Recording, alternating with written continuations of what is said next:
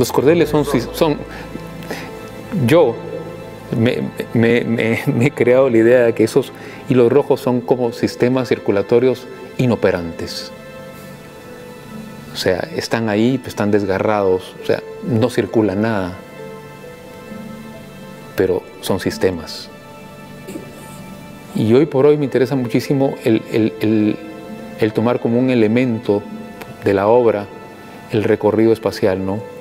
O sea, que tú te muevas, que no veas la obra desde un solo punto de vista, sino que la veas desde diferentes ángulos y que la obra te vea también. O sea, que se genere una especie de relación, pero no solamente visual, sino espacial, ¿no? Donde tu cuerpo tiene un papel eh, fundamental en la experiencia contemplativa, ¿no?